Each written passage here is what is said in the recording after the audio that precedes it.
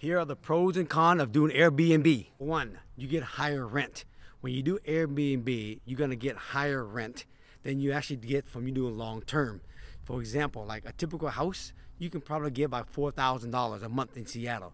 But if you do Airbnb, you can probably get up to like eight thousand dollars a month. So you're gonna make better cash flow doing Airbnb, no question about it. Number two, tenant. When you do Airbnb, you're gonna have tenant go move in and out, in and out, like a hotel business. If that's what you want, great. Or you do long term, you put them in one time at market value, and then they basically stay for a long time. I've tenant with me now for like 10 years. Three, active versus passive. Look, if you do Airbnb, it is an active business, okay? You gotta oversee your staff, oversee your people, and you gotta run it like a business, which is fine.